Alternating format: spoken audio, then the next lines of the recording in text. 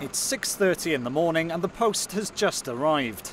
But the players here at the Olé Academy are already kitted up. You have to work hard, you have to be good to, to be good here. So Former All White Declan Edge has run the academy since 2013 with one goal in mind. Build world class players out of New Zealand.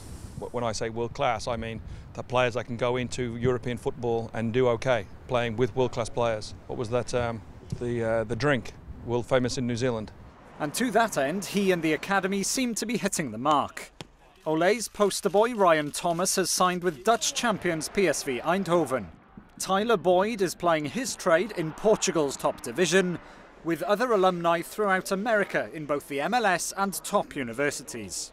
18 year old Elijah Just could be one of the next to sign the dotted line and is set to train with German club Werder Bremen in September. You just have to look at the players and, and that have come through here to know like what we're doing, and I trust Declan 100% to, to lead me in the right direction. So I'm really just focused on each day and, and getting better. good, good, good, good, good. Under Edge, the players have no option but to give 100%. He lives at the academy here. Uh, he breathes football.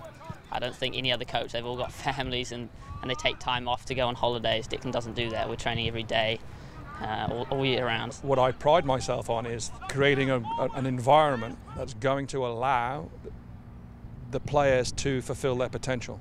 We're always looking to improve, always look better, to grow, to give our players better opportunities to, to fulfill their maximum. So I'd have to kill you on some of the stuff that we've got you know, up our sleeve. You know, we have a plan.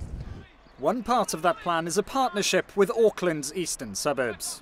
If there's there's one academy that's doing it a certain way, and is getting some good results. How about four academies doing it?